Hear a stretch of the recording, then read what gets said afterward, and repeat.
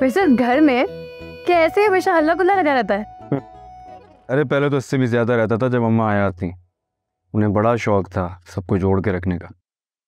वैसे ज़िंदगी का असल मज़ा ना सबके जुड़े रहने में ही होता है।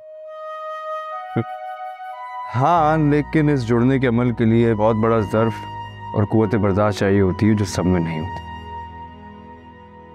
इसी ज़र्फ और बर्दाश्त की कमी की वजह से ना रिश्ते खराब हो जाते हैं। जैसे मामा का हुआ था कुछ ससुराल वालों के साथ। जान तारा मुझे बता दो बाबू भाई के अंदर जलाली नू आ गई सब भाभी की तरह। अरे बच्चे हुआ क्या है? मेरी बहू की आड़ से निकल वरना मुझसे बड़ा कोई नहीं होगा मती। ये तो हमें पता है। हु- हुआ क्या है बाबूजान? क्या हुआ है? इस बैंड मास्टर से पूछो क्या हुआ है? क्या किया है? कुछ खास नहीं किया बस ऐसे ही। ए, ऐसे ही।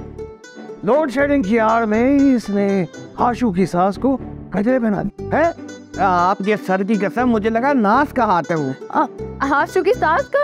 और वो ये समझ रही है कि वो गजरे मैंने बनाए आते जाते हुए अजीब तरह से मीठी मीठी नज़रों से मुझे देख रही हैं।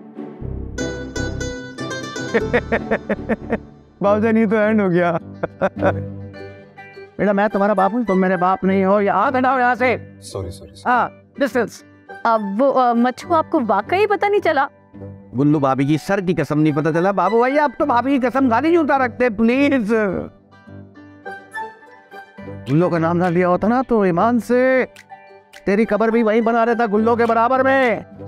अच्छा सरगोदा में? मैं सरगोदा में नहीं, तेरे तो मैं यहाँ पे कोरा कब्रिस्तान में भी बना सकता हूँ। मत्ती का एक्सपीरियंस बड़ा एक्सपीरियंस बना फिरता है। बीवी की कलाई तक का तो पता नहीं है इसको।